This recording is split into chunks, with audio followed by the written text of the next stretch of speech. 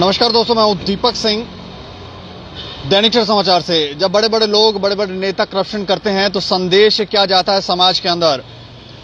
कई बार हमने भ्रष्टाचारी लोगों को करप्ट लोगों को आपके समक्ष लाया है, सामने लाया है, और ये बताने की कोशिश की है कि इससे किसी का कोई फ़ायदा नहीं है, नुकसान ही नुकसान है, इज़्ज़त भी जाती है आबरू भी जाती है और बचता कुछ भी नहीं है और फिर आप समाज में कुछ कर नहीं पाते, लेकिन उसके बावजूद भी लोग सुधर नहीं रहे हैं, समझ नहीं रहे हैं।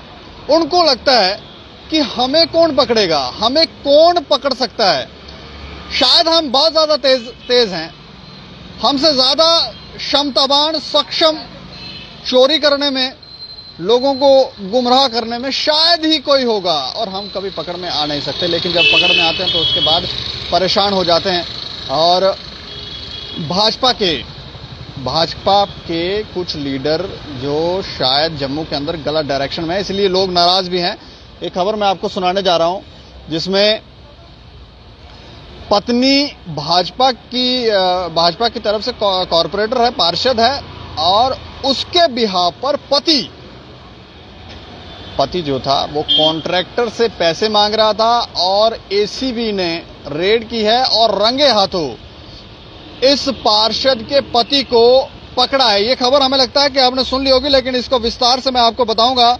दरअसल, वार्ड नंबर तिरपन का ये मामला है। वार्ड नंबर तिरपन, वहाँ की ये पार्षद हैं ज्योति देवी, जिनके पति जो हैं श्यामलाल, उन्होंने कॉन्ट्रैक्टर से पैसे मांगे थे और सुनने में जो आया है कि जो हमारे सोर्सेज बता रहे हैं कि बीस हज़ार रुपये मांगे थे, लेकिन अभी वो दस हज़ार रुपये दे रहा था तो वहाँ पर एसीबी ने रेड की और रंगे हाथों पकड़ लिया। ये Jammu municipal corporation Jammu municipal corporation में ये कॉन्ट्रैक्टर जो है वहाँ से कार्य कर रहा था। इरफान अहमद इसका नाम है और कॉरपोरेटर जो है उनका नाम है आपको फिर से बताऊँ। ज्योति देवी नाम है इनका। ये वार्ड नंबर तिरपन की ये पार्षद हैं और इनके पति का नाम श्यामलाल है और इन्होंने कॉन्ट्रैक्टर से बीस हज़ार रुपये मांगे। आप सोचे मात्र बीस हज़ार रुपये के लिए बीस हज़ार रुपये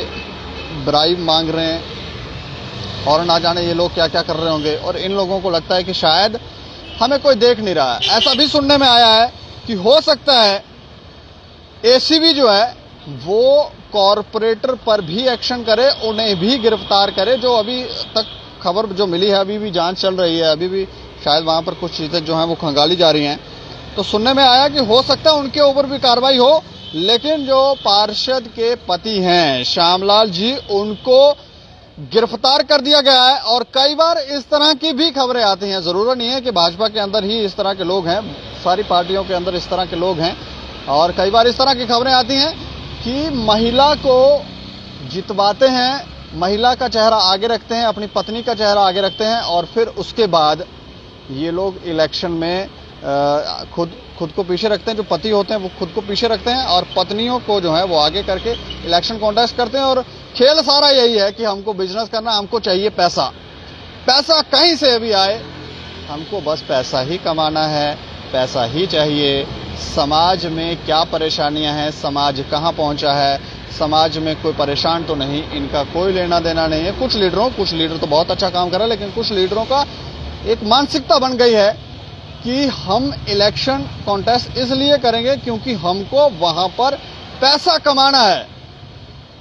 पैसा कमाते जाएँ आप, और ज़्यादा पैसा कमाएँ, लेकिन अब केंद्र सरकार जो है वो काफ़ी स्ट्रिक्ट है और चाहे फिर वो भाजपा का लीडर हो या फिर किसी दूसरी पार्टी का, विपक्षी पार्टी का, छोड़ा नहीं जाएगा। दस हज़ार, मात्र दस हज़ार रिश्वत लेते रंगे हाथों वार्ड नंबर तिरपन की पार्षद जो हैं, ज्योति देवी, उनके पति को गिरफ़्तार किया है और सूत्र ये बताते हैं कि अभी जाँच चल रही है। बाकी इस खबर के ऊपर आप अपनी प्रतिक्रिया ज़रूर रखें और देखते रहें दैनिक समाचार। मुझे और मेरे सहयोगी अमित डोगरा को दें इजाज़त। नमस्कार।